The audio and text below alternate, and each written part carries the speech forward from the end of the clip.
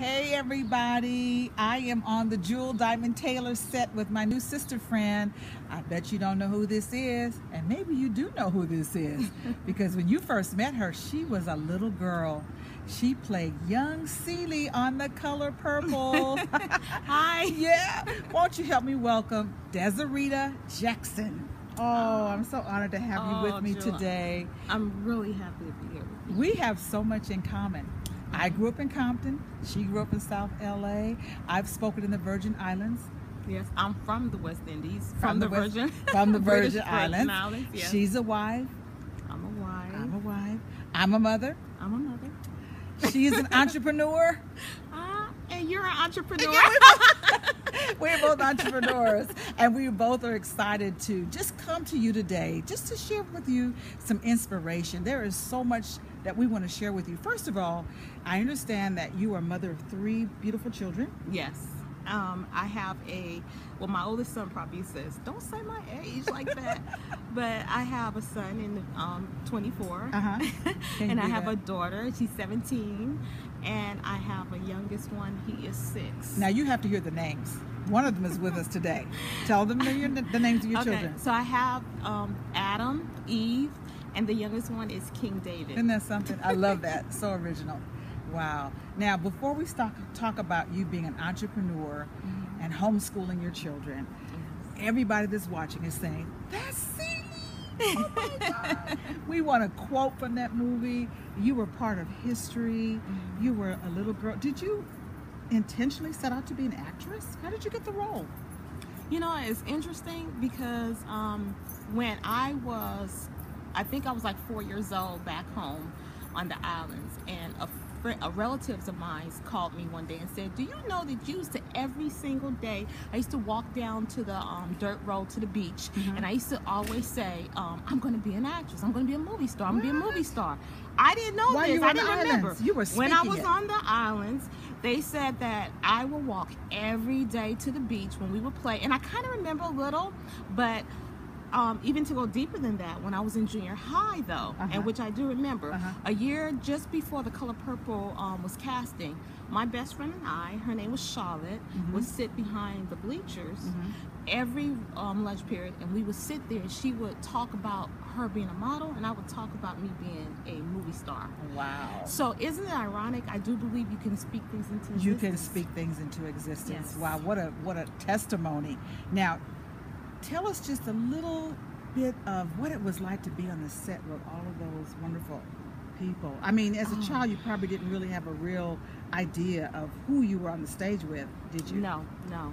And that's and what's interesting about that is that at the time when I got cast for The Color Purple, I had never even seen a movie. I had never You even had never even seen a movie. I never seen. I came here from the um, Virgin Islands.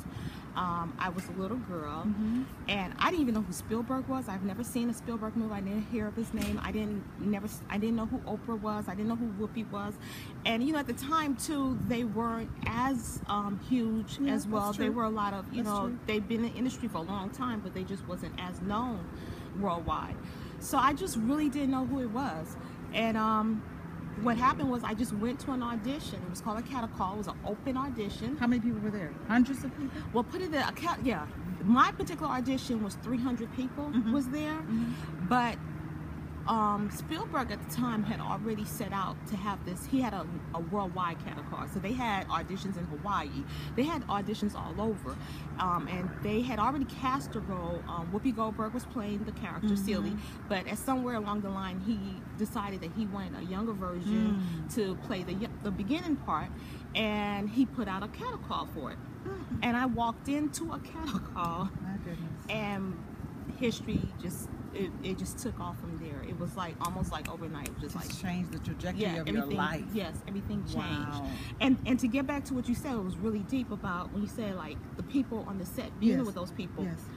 Do you know that I learned so much from them and their thinking without even knowing it? Because as a child, you absorb. you're absorbing it.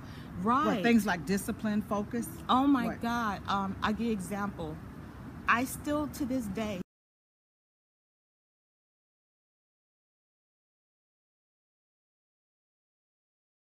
um, Well, there were so many different things. I know that to this day, I still say that Oprah Winfrey, um, whether she realized it or not, introduced me to charity. Mm. Um, right after The Color Purple, um, on the set, I used to hang with her a lot, which was weird. But there was no other kids on the set. Oh, okay. And she was kind of like a mother figure, so All she, right. you know, she'll let me come to the room and just talk business and do the things that she's doing. And and as a kid, you're just sitting there and you're listening. Which it took me 20 years later to kind of connect, like, oh, okay, I got it now. Yes. That's weird. But she would, even after the color purple, she would fly me from, I was living in South Central. Mhm. She would fly me from Watts all the way to Chicago. At the time, she was um, doing the, sh- the show, and she stayed in a, um, you know, like a, a, um, a townhome Mhm. out Like a there. condo. A condo, right. And so she would fly me out, and she would have like these girl events or Girl Scouts or these different Oh, things, and she getting wanted me to, you know, speak to them. And so Oh. we would have. I remember this one particular night where she had all these pajamas. Everybody was having a pajama. I didn't have a pajama. She was like, "Don't worry about it. Just come on out. Come on out." she took me for my first pajama shopping. You remember this, Oprah? she took me for my first pajama, and into this store. And I kid you not, I was like, the pajama was like two, three hundred dollars. All I- it was like What's a gown. pajamas? Okay. It was a gown, and all I kept thinking, it was out of cotton. All I kept thinking was two, three hundred dollars, and it would be, it was my favorite gown. I went home and I kept wearing it like a dress. Oh my goodness. I, my mother would be like, "Get out of there, get out," Oh. you know. But um, it was things like that that I didn't, you know, I don't think you realize you pick up, Mhm. and it's one of the reasons why I'm consistently going back into my community. And after that, I I, started, that. you know, mentoring and started speaking um, for years, as um, even after the Color Purple.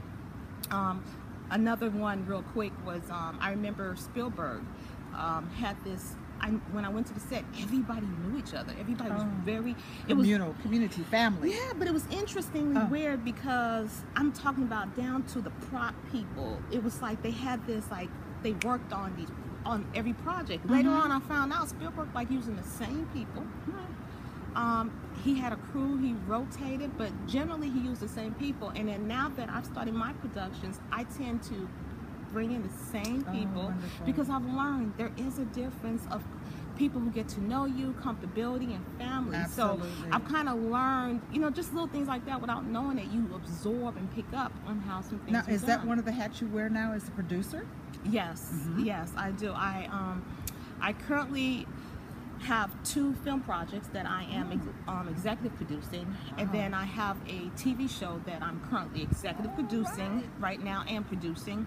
Um, the two are different, you know, that I'm currently producing as well. Um, so yeah. She's wearing many hats, and one of those hats is also being a mother. And I understand that you're doing something very unique with your children. Tell us about that. Well, um, I homeschool my kids, and that was a personal choice that didn't come lightly. And when I say didn't come lightly, it's Mhm. because on a regular day, I have my company Black Silk. I have four employees, and and I make my products. I have a lab that I actually try to get to and work on. I you know I have um, you know, a company to run. And then um, I'm producing projects. So it's like my time is like very constrained. But what happened was with my first time, the first time I um, homeschooled was with my daughter, Eve, and that was in the 90s. I homeschooled her from kindergarten to third grade. By the time she got out Wow. of the time, by the time I took her into third grade for public school, they tested her into a seventh grade level. Wow. And back then, there was no, um, there was only you could skip. So she would be amongst college kids. I'm Mm. not college kids, high school, High school kids, kids. Um, at that time, and I just felt like the balance wasn't right. So I Mm. didn't let her move ahead. Now, you know, one of the things I try to do, Desiree, is put a face and a voice to this thing called resiliency. Mhm. The ability to push and persevere, to bounce back after a setback. Was it a fight for you to get your children homeschooled? Ugh. What was that like? Yeah, it was. The fight wasn't so much um, at 1st Mhm. as getting them homeschooled as Mhm. it was with how unhappy I was with the school system. Uh-huh. How unhappy I was. Um, I, I saw it first with my daughter back um, when she was in um, kindergarten and she started peeing on herself. Uh-huh. That was her anxiety. Yes, Uh-huh. and and the, I tried to explain to the school, and it was the way they had the whole system set up. They had these bathrooms that they shared, and um, there was adults going through the bathroom to go to another class. So as a little girl, you know, it's like it was just stuff that I noticed that was wrong with her, and that was causing her not to develop. Oh, oh, okay. So I had to choose then to, you know, make up my mind that it wasn't about me. I had to stop the things that I was doing Mhm. and um, with my career and different things, and I, I focus on my kids. Now let's stop there. Mothers making sacrifices for their children. This is something that is so awesome. It is a sacrifice. Mhm. It is a choice, but the reward is great. Your Yes. children are college bound. Yes. Yeah, Yeah. that's both beautiful. Yes, wonderful. And little King David is how old is King David? He's six now. Okay. Yes. And, and we were sharing before the interview that with each child, because your children are spaced, what, what are the Mhm. years between the intervals between each child? Ooh, um, offhand, you guys would be better with the math than me, but there is, I think, a 10 year and an 11 year difference. Wow. Between, And so with each child was like starting all over again, but you All came with more wisdom, didn't you? Yes. Yeah, Yes. yeah. With each one, beca- I became, I was stronger. I was more knowledgeable. I Yes. was more self confidence. You know, like you said, and then that resilience was Mhm. there because I knew what I need to do. I knew how to get it done, and I made sure that I stuck on the course and got it done. Yeah. So, like even now, I homeschool him, and um, I was having problems with his school. I didn't like the way that they were applying. Um, he has an accent. I have an accent. They was applying it as if that makes him um, like they Disabled can't or something. Disabled. Yeah. they did, and and it was funny because I'm like, I noticed that other nationalities were in there. I couldn't understand them. Some couldn't speak English, but they didn't apply that. That you couldn't understand those kids. Um, he So just, they thought it was like a speech impediment. Um, more so, th- not just a speech impairment, but I noticed that my son is very. Um, I noticed certain things about him. He's very detail orientated. Okay. Um, he'll notice every little thing. He'll notice. Um, he likes consistency. He likes. Um, he's very um, outgoing and positive. And what I noticed was, the teacher just. And I'm not. I'm not going to take this into a. a, a a um, race thing, Mhm. but I just felt like she wasn't as um, confident with um, certain type of kids as she was reinforcing other kids' behavior. And raising a young king, I needed him to know Come on. that he that his thinking wasn't off. That's that right. He was I smart. That. he noticed when he noticed that she was moving slow, or she didn't, or she forgot things, or she noticed things were dangerous, and he brought it to her attention. She took it more in a negative that he was Mm. interrupting versus Gotcha. that he's telling you that you know hey some spark is coming out of that plug he knows that shouldn't happen Wow. you know so just i wanted him to continue his his confidence and his growth and um, I, I decided i came to the point where i just decided that i will develop their mind Mhm. and in order for me to do Develop his that strengths, yeah. develop his It's wonderful yes. when parents can advocate and champion Mhm. for their children, and I'm so glad that you're able to share that because part of my body of work is empowering women to have self-esteem, to have confidence, to speak Yes. up, and so you're giving us a great example that when we champion for our children, we see their strengths, we see this, we see their greatness, yes and unfortunately. uh, Teachers may not always be equipped or emotionally available mm-hmm. or uh, exposed to different cultures to understand how to really deal with children with different special skills. yes And, exactly and yeah, so that's Yeah. wonderful. Now, I often say, uh, Desreta, that we as women, we don't really know what this word balance is. I think it's a myth. So you're juggling I love an that. actress, a producer, a wife, a mother, a teacher, an entrepreneur. What? Tell us the name of your business. um, well i have a, a few um, Oh, we have a few. Yeah, I have a. Oh my God. I have a few. Um, Black Silk is my hairline, Uh-huh. my hairline product, Yes. and um, just to be quick, I started that.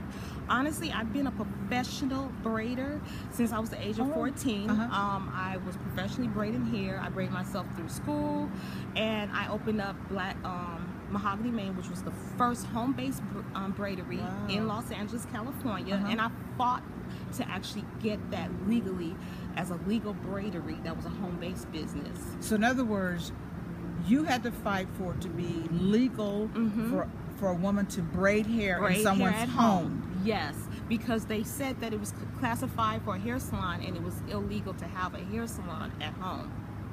And in what I did was I found the um, the existing legislation that they had on embroidery, which allowed you to actually um, use hand artwork. Hmm.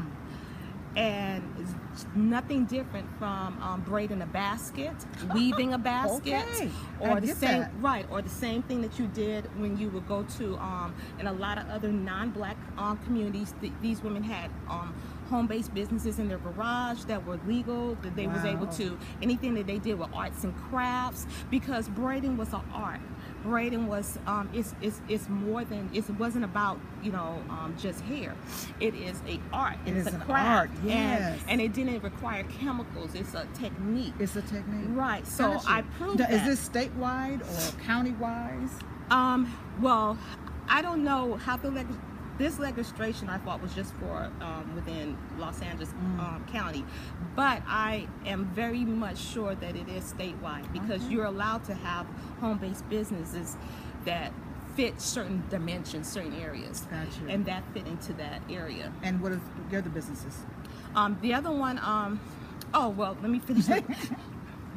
Black Silk is a, um, is my hair company, Uh-huh. and I create those products.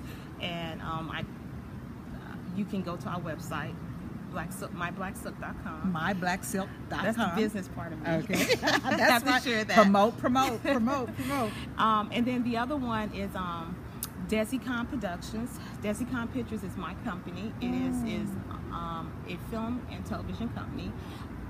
As a, I'm still an actress and I still love it, and I'm very much, um, I'm so in love with acting itself. I did take a break, but I took a break for you know specific reasons. Yes. And now that I'm, you know, coming back into the industry, um, I would like to bring the kind of projects that I wanted to see. Mm-hmm. I hear a lot of actors right now complain about Hollywood doesn't give us a fair chance or give us the We have to create them for ourselves. You do. You Yeah. have to create Yeah. Mm-hmm. for yourself.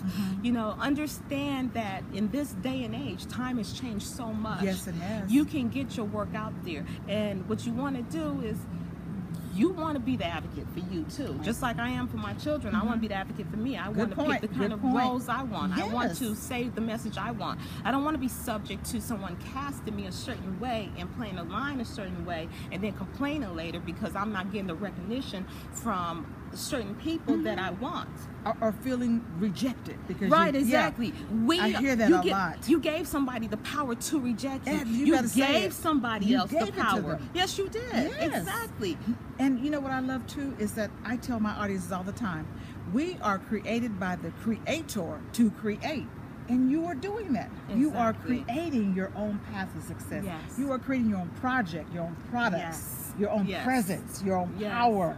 Yes. And that is awesome. And I live a happier life because Yes, of it. exactly. You know, you do. You have- do. yeah. And you know that. Oh, I do. And- I do.